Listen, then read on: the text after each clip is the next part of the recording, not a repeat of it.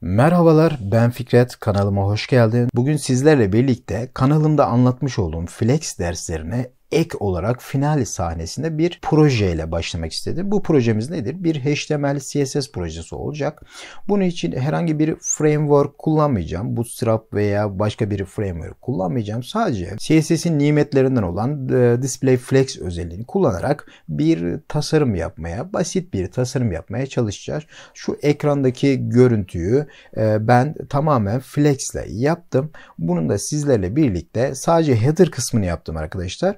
Ee, diğer kısımlarında artık SAS'a girerek bunu projemizi SAS'a çevireceğiz ve daha büyük projelerde çalışmak için SAS'ın mantığını da kavramış olacağız. Şu anlık için sadece header kısmının nasıl yapıldığını öğrenmek istiyorsanız derse geçebiliriz. Evet Visual Studio Code'la editörüyle kodlama yapacağız. Bunun için e, kod editörümü açtım. File'dan Open Folder diyerek masa üstünde bir Flex klasörü açtım arkadaşlar. Bunun içerisine New File diyerek index index HTML'imi oluşturuyorum.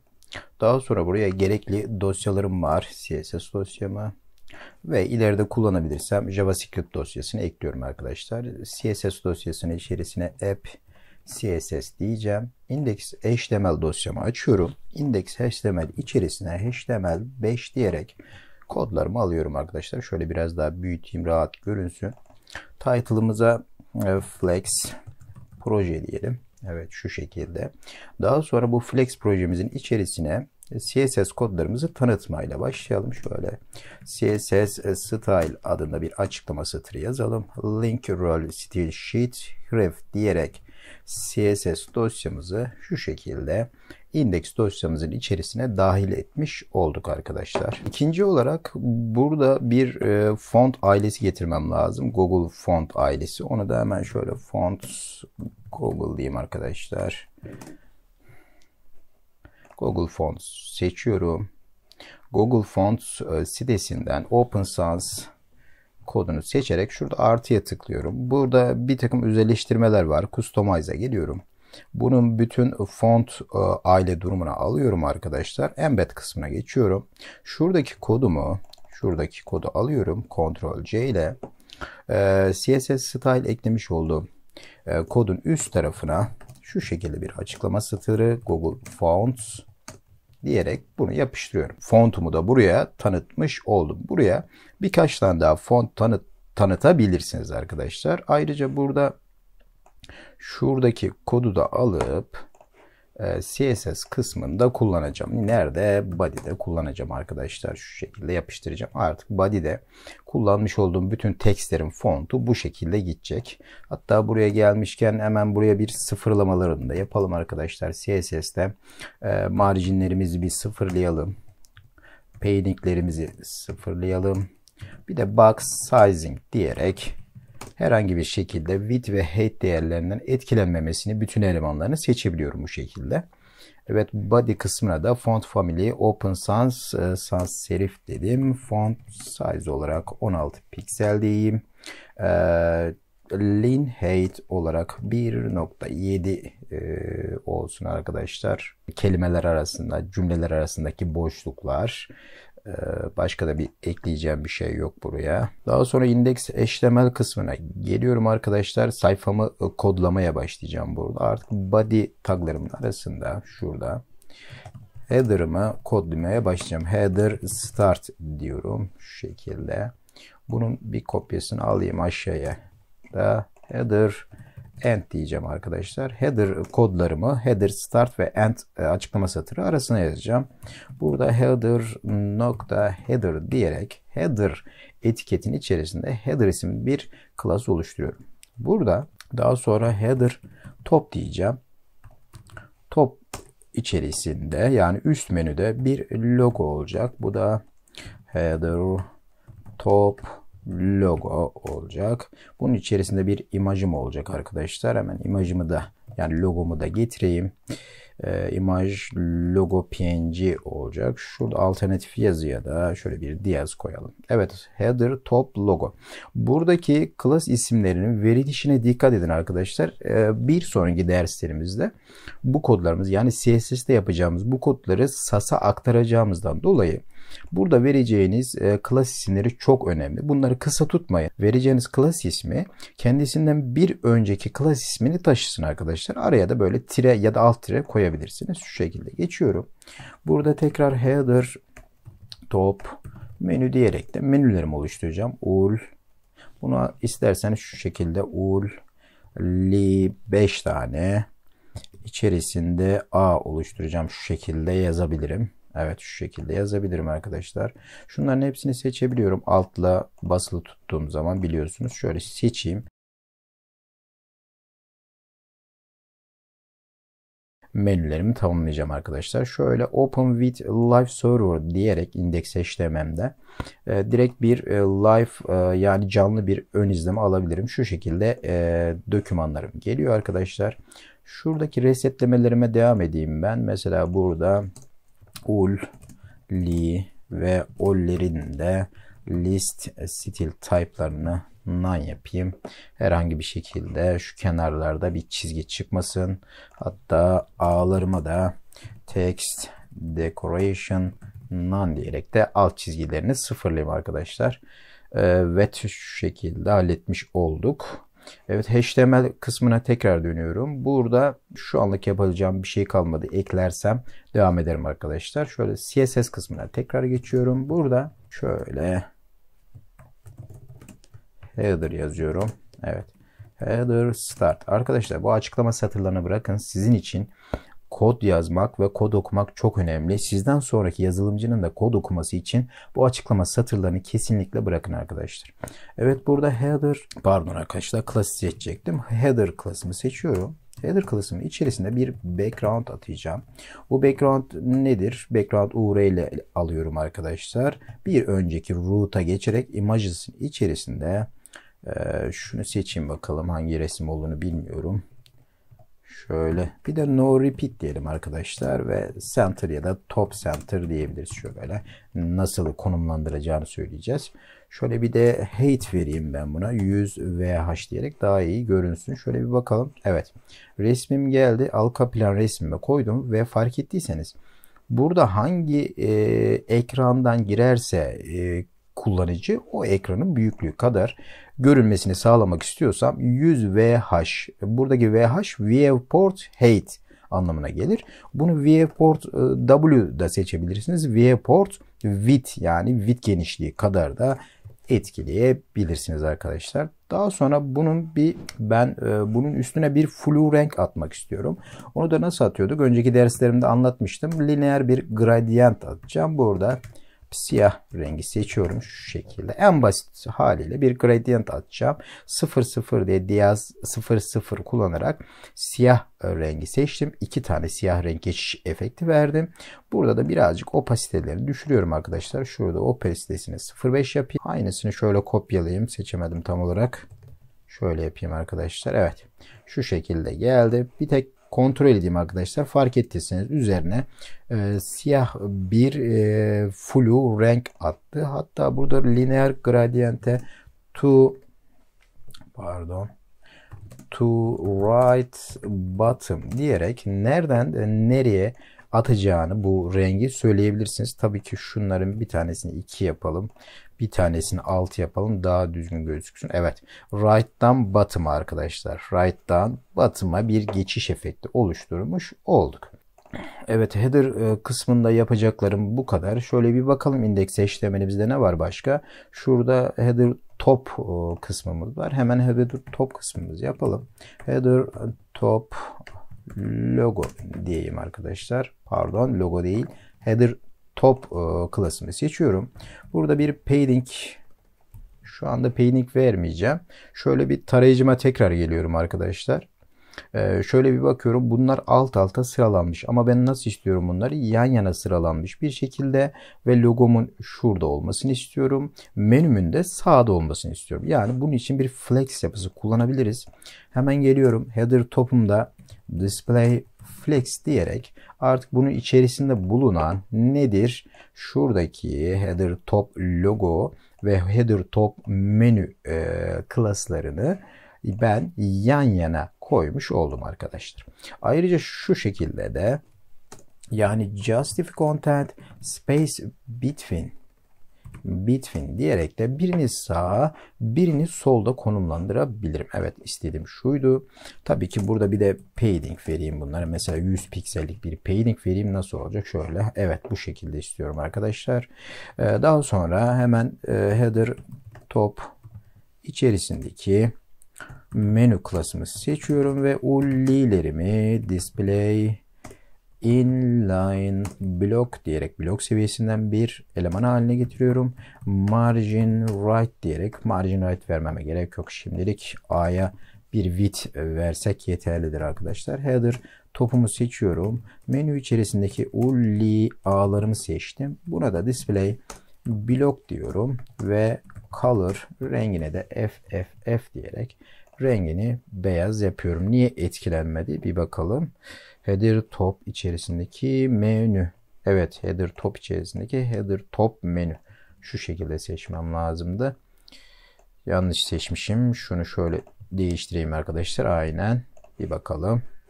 Yine olmadı. Header top menü ulli.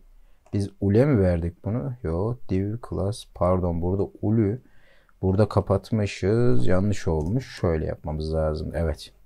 Etiket yanlışlığı yapmışız. Aynen arkadaşlar şu şekilde geldi.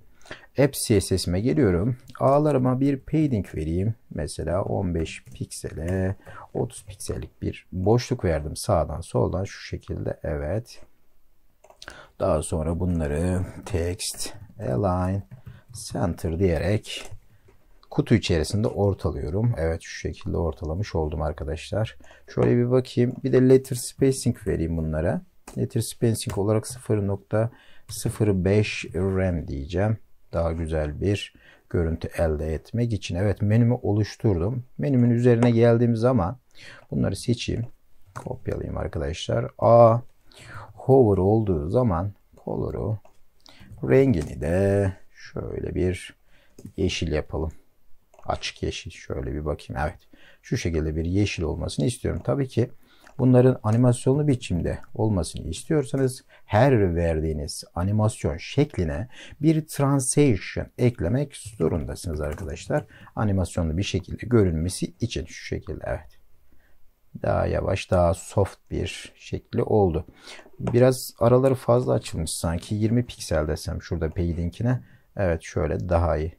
Aynen arkadaşlar. Şurada menümüz olacak. Tabii ki burada responsive kısmına da dikkat etmek lazım. Fark ettiyseniz space e, yani burada justify content space between kullanarak ben bunu sağ tarafta e, konumlandırdım. Ancak bunlar birbirine göre e, hizalanmadı. Bunu hizalandırmak için de şurada Align Items seçeneğini seçmem lazım. Center dediğim anda şunlar birbirine göre ortalanmış oldu arkadaşlar.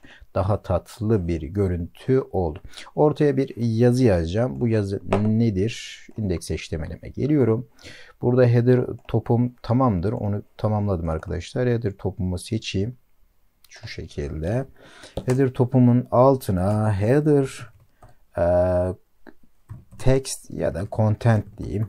Content içerik diyeyim arkadaşlar. Header content.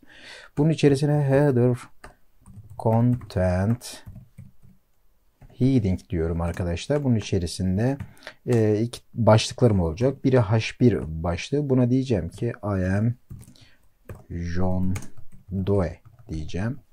Bunun e, altına da P'yi seçeceğim ve Graphic Designer and developer diyeceğim arkadaşlar. Şu şekilde bir bakayım. Hemen nereye yazdı?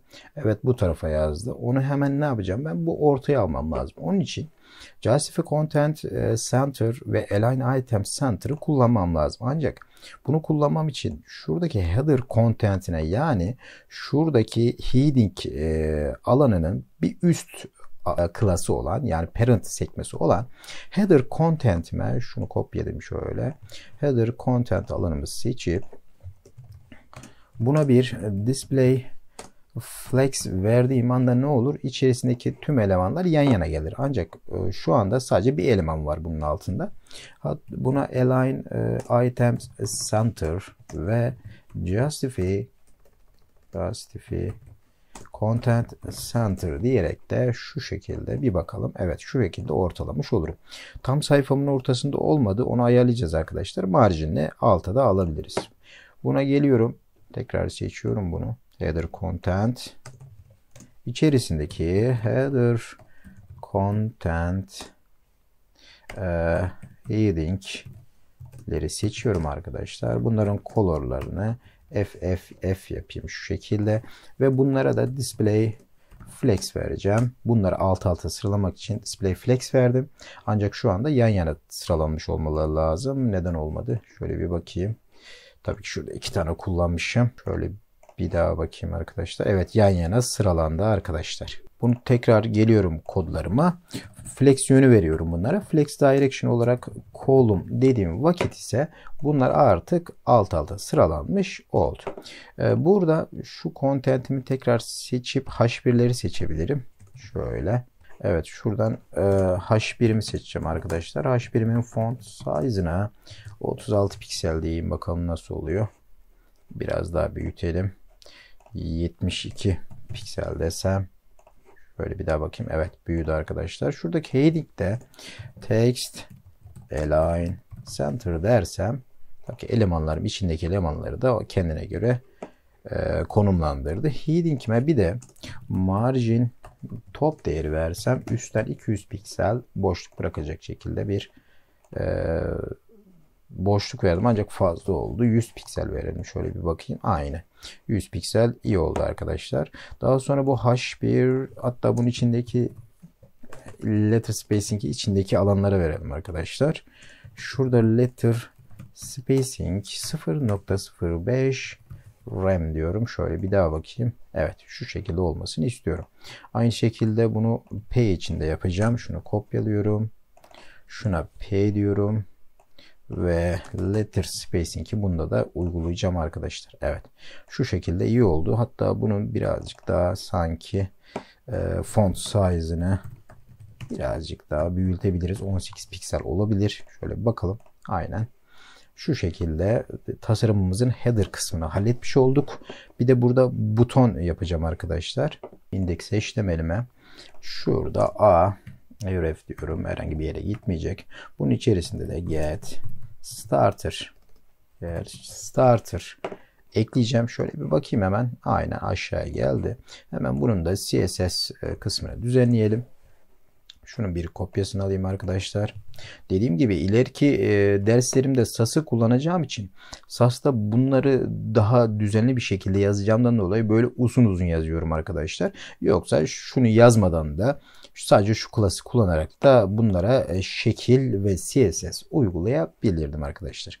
Şöyle geleyim display block diyeceğim. E, buna bir padding vereyim. Olmazsa height vereyim. Width değeri 100 piksel. Height değeri 50 piksel. Background e, color'ı FFF olsun.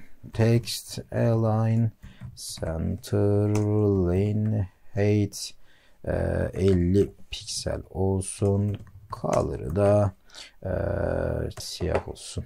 Evet arkadaşlar butonum solda. Bunu ortaya almak için de burada bir flex değeri vermiştim. Kime? Şurada heading değerim. Nerede heading değerim? Evet şurada. Heading değerimin flex align items center diyerek de şuradaki butonumu oluşturmuş oldum. Evet burada e, heading h1p dedim ama p'den sonra bir margin bottom verelim. 50 piksellik bir bottom vereyim ve butonum şöyle biraz aşağı insin. Evet. Şimdi 100 piksel dedik ama 100 piksel yetmedi. 150 piksel olsun. Bir de bir border border radius değeri vereceğim. 50 piksellik bir border radius değeri verirsem kenarları yumuşatır. Evet şu şekilde bir buton oluşturmuş oldum. Butonuma hemen bir hover özelliği vereceğim. Nedir o da? Şunu seçeyim. Ctrl C, Ctrl V dedim. A hover olduğunda e, transform transform translate e, x'te yukarıya gitsin. A hover olduğu zaman e, 103 piksel 3 piksellik bir yukarıya kayma olayı olsun. Şöyle bir bakayım. Pardon X dedim ama burası Y olacaktı arkadaşlar. Pardon. Üzerine geldiğim zaman şu şekilde bir kayma yaşayacağım. Tabi bunun animasyonlu bir şekilde olması için 300 milisaniye ol diyeceğim. Şöyle üzerine geldiğim zaman fark ettiyseniz şöyle güzel bir özellik olacak. Daha sonra buna content tekrar bir kopyasını alıyorum. Aktif durumdayken ise e, yani basıldığında ise eksi 1 olsun diyorum. Şöyle bir bakayım. Evet şu şekilde bastığım anda şöyle bir piksel aşağı inecek. Tabii ki bunlara biraz da box shadow verirsem tadından yenmez gibi sanki 0 piksel 10 piksel 20 piksel şöyle 0 0 diyeyim şöyle burada da Visual Code'un nimetlerinden yararlanarak şöyle 0.5 yapsam bir bakayım evet şu şekilde bir gölge verdi üzerine tıkladığım anda şu gölgenin birazcık küçülmesini sağlayabilirim. Şöyle bir bakayım. Şunu yarıya düşür. Şunu da yarıya düşür. Evet. Şöyle bir bakalım. Evet. Şöyle basıldığı zaman gerçek bir butonun hissi vermeye başladı arkadaşlar. Şöyle geleyim. Şu şekilde bir buton hissi vermeye başladı. Şuna bir takım özellikler vereceğim. Transform kullandığım zaman Bake Face Visibility'sini hemen kaldırayım. Ee, bakalım başka ne verebiliriz? A'ya şurada kullanmış olduğum A'nın before ya da after'ına A'nın after değerini seçiyorum. After değerine display block content content şöyle boşluk bırakacağım arkadaşlar. Width değeri %100 height değeri de %100 olan bir beyaz çizgi çizeceğim. Background color FFF diyerek şöyle bir e, beyazlık olacak. Bu beyazlığı da üzerine geldiği zaman yani şu hover olduğu zaman şu şekilde A hover olduğu zaman after'ına ne yapmasını istiyorum? Transform scale 1.5 büyüsün. Bakalım. Hatta şu after'a transition vermemiz lazım ki bunu görebilelim. Çünkü göremeyiz yoksa. Şöyle bir daha bakayım. Hoppa. Tabii ki burada position position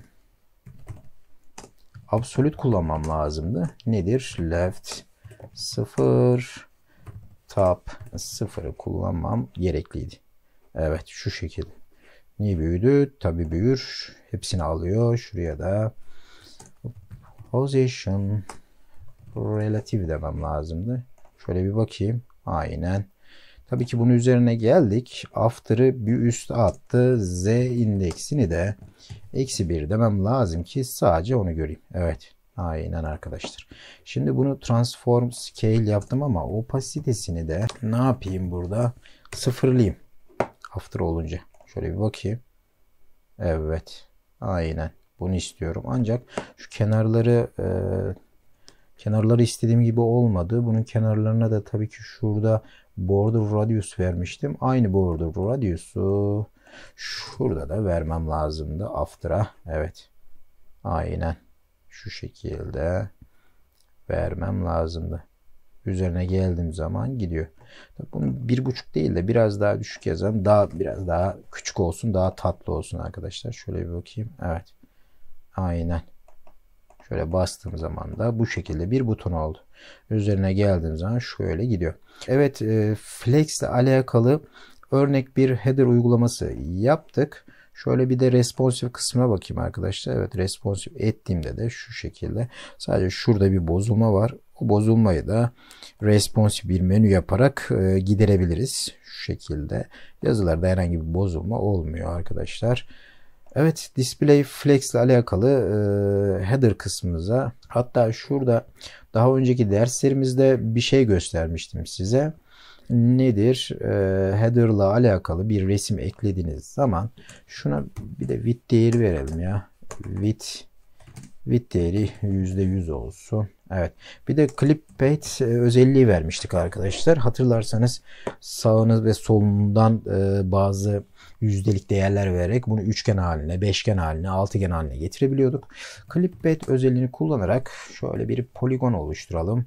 Poligon diyeyim. Bakalım nasıl olacak. Bunun içerisinde 1, 2 ve 3 dediğim vakit yani poligon dedim. Kaç tane kenarı, kaç tane e, köşesi olacak? 3 tane köşesi olacak diyorsa bunların her birine x ve y'de konumlandırmam lazım. Şöyle x ve y'de konumlandırmam lazım. Benim 4 tane köşem olacak. Şöyle yapayım. Birinci köşem left top'tan başlayacak. Yani nedir? Şuradan başlayacak. Burası benim için left ve top değeri. Bunların ikisi de 0 olacak. 0 sıfırdan başlayacak. X ve Y değeri benim için pardon Google fontumuz açıldı. Şurada benim için e, şurası ikinci köşem. İkinci köşem burası olacak. Buraya x ile %100 olarak geleceğim ama y'de herhangi bir şekilde hareket etmeyeceğim. x ile %100 hareket edeceğim. Ancak y'de 0 olacak. y'de hareket etmeyeceğim. Daha sonra geliyorum. Üçüncü köşem şurası. Bu köşeme ise buradan hem x ile %100 gelmem lazım hem de y ile %100 gelmem lazım. Ancak y ile tam %100 gelmeyeceğim. Biraz %90 ile geleceğim. Bakın ne olacak. Şöyle geliyorum. %100 ile gittim. Sağ köşeye yapıştım. Daha sonra y ile de %90 geldim. Şöyle bir bakayım. %90 gelerek şuralara bir yerlere geldim. Daha sonra yine buradayım ama hala buradayım. Başa döndüm tekrar. Diyorum ki dördüncü köşem ise dördüncü köşem ise şurada olacak. Buradan %100 olarak ne ile geleceğim? Y ile geleceğim.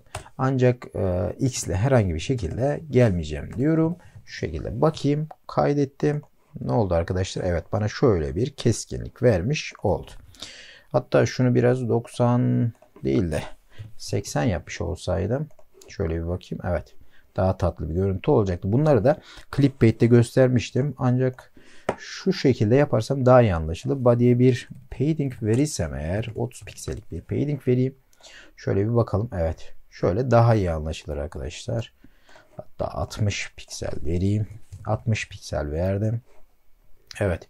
Şu şekilde e, sitemin e, yapılış amacına daha uygun oldu arkadaşlar. Şu şekilde bir e, çizgi verdiğim zaman da bu şekilde de bir tasarım yapmış olabilirsiniz. Bu tasarımları da nasıl oluşturacağınızı kanalımda Clipbait dersinde anlattım arkadaşlar.